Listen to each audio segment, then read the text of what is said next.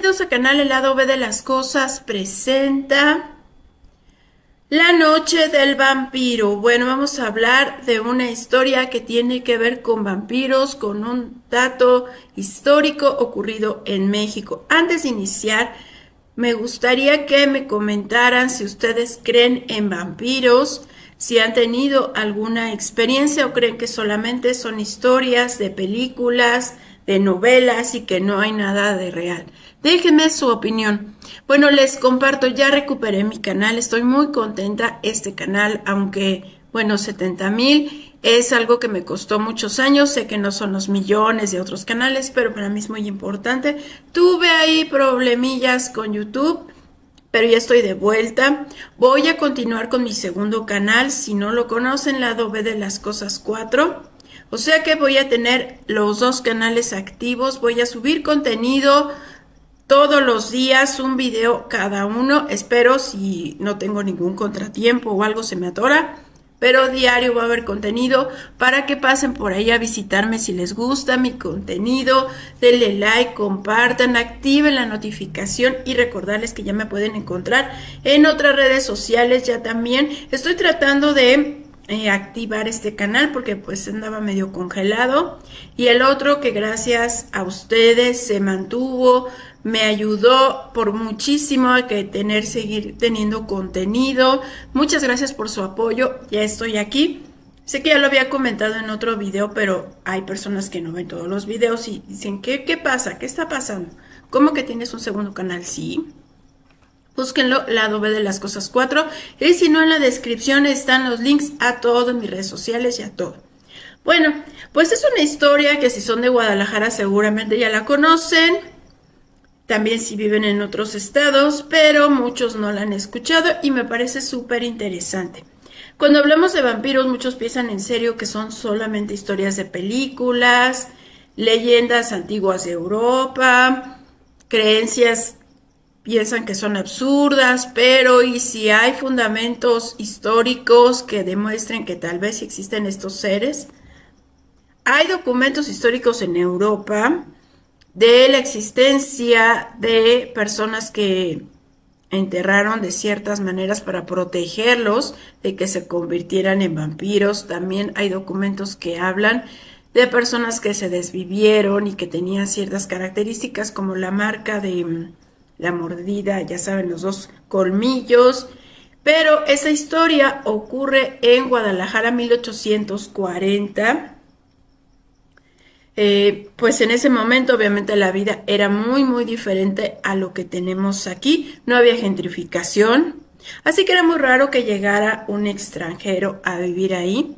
Por eso la gente de Guadalajara se sintió muy extrañada cuando llegó un noble caballero europeo no queda muy claro de qué país exactamente era, pero sí que era de Europa, con bastante dinero, llegó a una gran propiedad.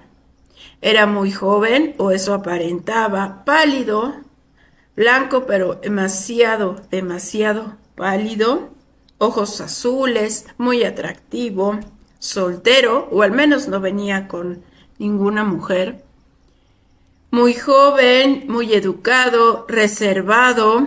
Y bueno, inmediatamente se corrió la noticia por todo Guadalajara que un hombre soltero y disponible, millonario y europeo, andaba por ahí y que se había mudado a la ciudad. Entonces, la gente que tenía pues más recursos, la élite, por llamarlos así, de la ciudad de Guadalajara se sintió interesada en conocer al caballero. Comenzaron a hacer cenas, hacer bailes para invitarlo y tener un pretexto de poder platicar con él. Estaban interesados en establecer negocios, ya que el señor pues tenía bastante dinero o eso aparentaba y también estaban interesados en presentarle a sus hijas solteras, qué mejor que casarlas con un noble caballero europeo con muchos recursos. Pero este hombre cuenta la historia que nunca asistía a estas cenas, a estos bailes, tampoco a las comidas o desayunos a los cuales era invitado. Era un hombre reservado que no le gustaba socializar con la gente. Eso empezó a llamar la atención porque insisto que muchas chicas solteras lo veían con interés. Empezaron a circular que él no se reunía con las personas porque era un noble, porque provenía de una de las familias más importantes de Europa, que era un conde, le llamaban el conde Baldor. El conde de Baldor no se juntaba con la gente de México, con los plebeyos, aunque fueran ricos y que por eso no se interesaba en convivir. Pero mientras la gente de Guadalajara estaba muy interesada en hablar, cuchichear y echar rumores sobre este caballero, algo raro pasaba. En la ciudad empezaron a aparecer numerosas personas desvividas. Aparecían en los ríos, aparecían en lugares apartados y todos tenían algo en común presentaban la típica marca de una mordida de dos colmillos y al momento de hacer lo que en ese momento se consideraría una autopsia, pues no tenían ni una gota de líquido vital, ya sabrán ustedes cuál. Es entonces que empezó a circular rumores de qué se trata, qué está pasando, qué hay detrás de este caballero. Y bueno, Muchos empezaron a sospechar si tenía algo que ver la relación de esta, la llegada de este europeo con todas las personas que estaban desviviendo. Casi siempre eran mujeres muy jóvenes. Pero no había ninguna, pues no había ninguna pista que lo llevara a este caballero. Sin embargo, los rumores empezaron a esparcerse, parecieron que no había intenciones de la autoridad de investigar los casos porque la mayoría de sus víctimas provenían de una familia humilde. Además de que en el pueblo la gente humilde en realidad apoyaba y quería mucho al famoso caballero conde, porque decían que en las noches, mientras los Ricos hacendados de aquel lugar, los millonarios se, reunían en lujosas fiestas que este hombre rechazaba y que no quería asistir. En realidad lo veían caminando por las zonas pobres y humildes repartiendo comida y repartiendo muchas cobijas, ropa para las personas que necesitaban apoyo. También repartía dinero entre los enfermos y se convirtió en un ser muy querido entre los pobladores. Pero las semanas pasaban y pasaban y numerosas mujeres empezaron a desaparecer y las que aparecían pues no tenían líquido vital. Los rumores de que había un vampiro en la ciudad empezaron a crecer, hasta que una noche los familiares de su última víctima se organizaron.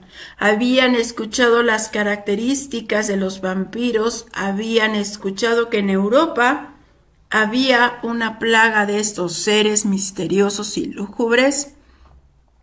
Empezaron a atar cabos, a ver por qué este señor nunca lo veían de día, que este señor no asistía nunca a misa, que porque en ese momento era muy importante asistir a las misas, Recordemos que no había muchos eh, lugares de entretenimiento y para las personas asistir a misa era todo un evento social y él nunca iba, nunca lo veían, veían de día, rechazaba los encuentros si eran de día o de la tarde y empezaron a atar cabos y el señor europeo quizá era un vampiro. Los familiares de la última víctima se reunieron con otros vecinos, los convencieron que a pesar de que daba dinero, que a pesar de que daba comida, este señor tal vez no tenía buenas intenciones, y se organizaron y fueron a su lujosa morada. Cuando llegaron, cuenta la leyenda, estaba en compañía de una chica la cual ya pues le estaba quitando el líquido vital. Entonces, fúricos eh, lo tomaron entre la turba, 50, 60 personas, y se lo llevaron arrastrando a un cementerio camposanto cercano, que es el famoso Panteón de Belén, y lo desvivieron utilizando una rama de un árbol cercano como una forma de eh, clavarle la famosa estaca. Así lo desvivieron y ahí mismo lo enterraron, le hicieron su tumba. Las autoridades que no se habían interesado en resolver ya no hicieron nada y quedó documentado que ahí quedó su tumba y que la gente estaba segura de que este hombre era en realidad un vampiro. Bueno, pues entonces dicen que ahí pasaron los días, los meses, los años y comenzó a crecer un árbol, un árbol que todavía y hasta la fecha está en pie. Se dice que las autoridades habrían contratado a una, hechicera, bruja, lo que sea, para colocar un hechizo y que ese árbol protegiera la ciudad de ese vampiro.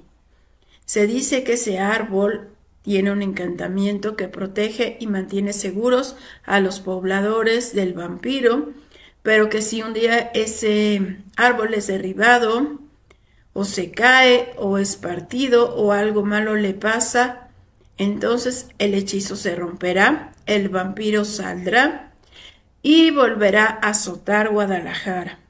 Podría parecer una absurda leyenda, pero resulta que el árbol existe, la tumba existe, está en el Panteón de Belén, en Guadalajara, es visitada cada año por turistas que quieren ver la tumba del vampiro que azotó Guadalajara la noche en que fue detenido por el valor de los ciudadanos y el misterio. Luego ha salido una nueva leyenda que aseguran que algunos chicos para querer llevarse un recuerdo como un recuerdo turístico, empezó la gente a llevarse algunas ramas del misterioso árbol, pero que en una ocasión comenzó a emitir un líquido rojo, que ese árbol saca constantemente un líquido rojo y piensan que es el que proviene de las víctimas del vampiro. Esperemos que la gente ya no se lleve partes del pobre árbol, lo respete, porque sin importar si es una leyenda o no, hay que respetar a los árboles que todavía quedan. Y bueno, pues también hay que decir que es un atractivo turístico, que tiene un fundamento legal, histórico, que ahí está una tumba. Y bueno, ¿ustedes qué creen que solamente es un mito, una leyenda o que en realidad hubo vampiros en Guadalajara? O tal vez todavía los hay. ¿Qué tanto es leyenda? ¿Qué tanto es mito? ¿Qué tanto algunos millonarios tienen esa ficción? Bueno, pues yo les puedo comentar que esa historia de los vampiros puede ser mucho más real de lo que creemos. Primero, porque como les digo, el consumo de este líquido rojo es real. Hay personas que se reúnen en clubs para eh, beber y consumir este líquido. Lo utilizan también en rituales, en cultos y eh, pues está asociado con otra sustancia que incluso se distribuye como ilegal, que empieza con adeno y que también, así que de que hay personas que consumen esto es cierto. De que tengan vida eterna, bueno, pues hay algunos actores de Hollywood. De hecho, tenía un video que es los vampiros de Hollywood, que parecen no envejecer extrañamente. ¿Que dé vida eterna el consumo de esta sustancia? Pues no, o tal vez los rejuvenece un poco. Hay tratamientos donde les inyectan, y eso es real, ¿eh? Eso es real. Ah, inyectan este pues ese líquido de gente joven a gente ya más adulta y según les ayuda a recuperar hay un millonario había hecho yo un video de eso que utiliza su hijo para donante, lo cual es horrible que a su hijo más joven, el hijo ya tiene 18, ¿eh? O sea, no es...